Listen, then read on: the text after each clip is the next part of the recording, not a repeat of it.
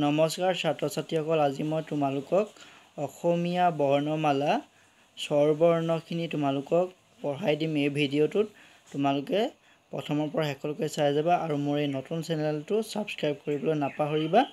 তোমালোকে এই ভিডিঅ'টোত চালে তোমালোকে সম্পূৰ্ণকৈ পঢ়িব পাৰিবা। ভিডিঅ'টো সম্পূৰ্ণকৈ চাবা কিন্তু। চৰেয় চৰেয়া অচৈ দীঘৈ অচৌ দীঘৌ ৰি এ ঐ উ ঔ। আকৌ এবাৰ পঢ়া।